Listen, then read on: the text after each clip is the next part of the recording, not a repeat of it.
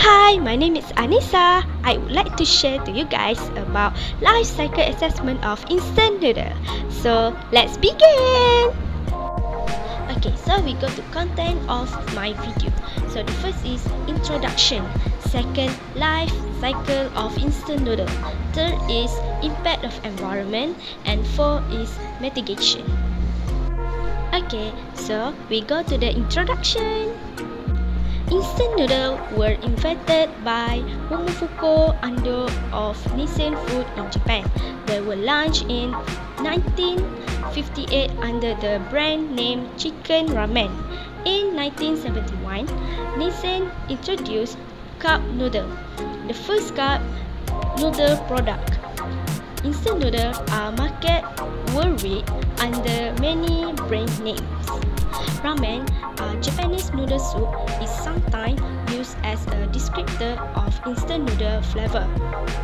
By some Japanese manufacturers, it has become synonymous in the United States for all instant noodle products. Due to the diversity of instant noodle, they can be used as an alternative to typical long noodle. They are used to make dishes such as ramen, Korean army, stew, and even chow mein. So, instant noodle actually have a few types, which is in cup, bowl, and also the individual. Next, we go to the instant noodle material. Instant noodle actually high in sodium and MSG lower in fiber, calorie and also the so we go to the top 5 global demand of instant noodle. First is China, second is Indonesia, third is India, fourth is Japan and the fifth is Vietnam. So Malaysia is a number 14 in this list. Now we go to the top 3 per capita consumption of food noodle. So China listed for number 1 followed by Vietnam with 7.03 serving and the next is India. So that is for introduction for instant noodle. Next, we go to the life cycle of assessment of instant noodles. 5. Life cycle of assessment instant noodle. So first one is raw material, second manufacturing, third packaging or distribution, fourth is use of instant noodle and the last is end of life for instant noodle. The first is raw material. So to produce instant noodle, we need to put some raw material which is oil, salt, flour, water, potato starch and also the seasoning. Next, we go to the manufacturing processing.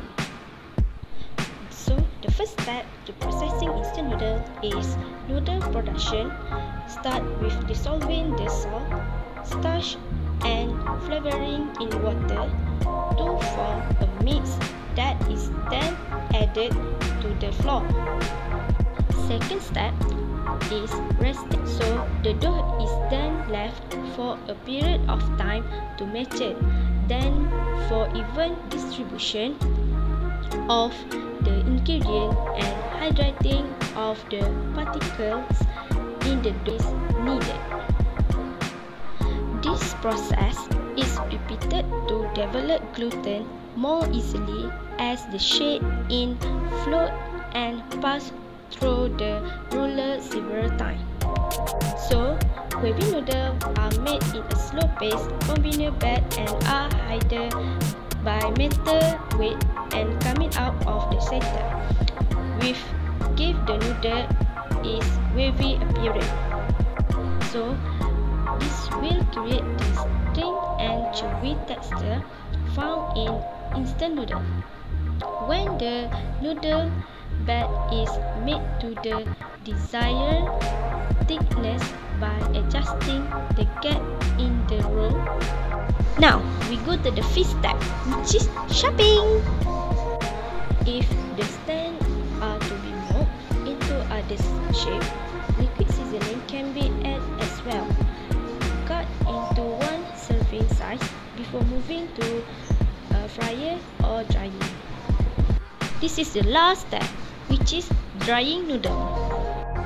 Air dry noodle are dry for 30 to 40 minutes in hot air at a temperature of 70 to 90 Celsius, resulting in a moist content of 8 to 20%.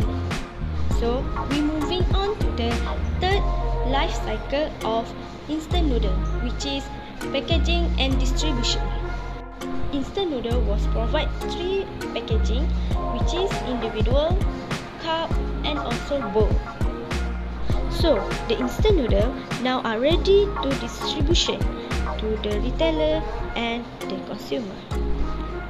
Next, we go to the distribution transportation. The first is factory. So factory produce instant noodle. Next, we go to the transportation. Transportation which is lorry. Lorry actually high consumption of chemical energy such as burning gasoline for transportation purposes. Next, we go to the supermarket. So supermarket actually selling instant noodle to consumer. Consumer use instant noodle for their daily life.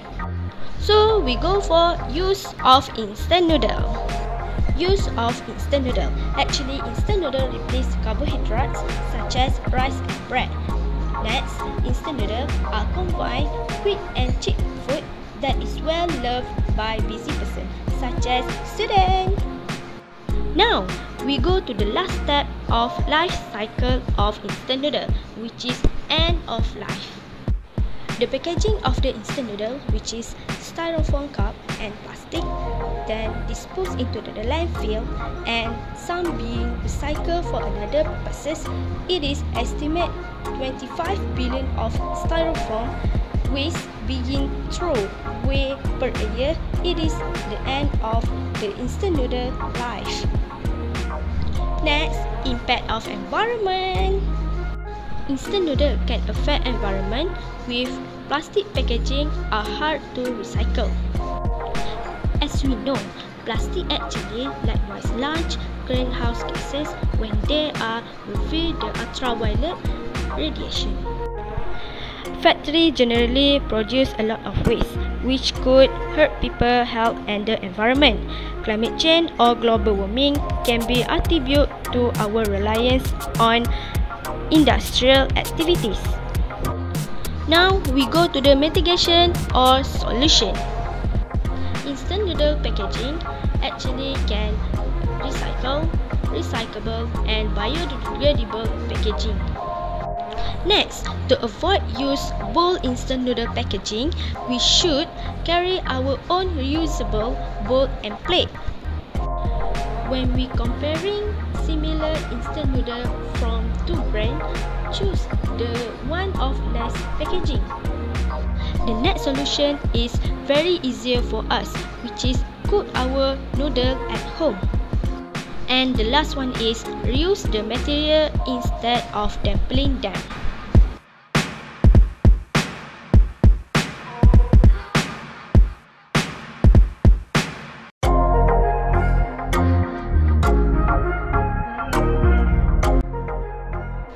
I hope you guys can get some information from my noodle video. So, thank you for watching. Don't forget to like, comment, also subscribe our channel. Thank you.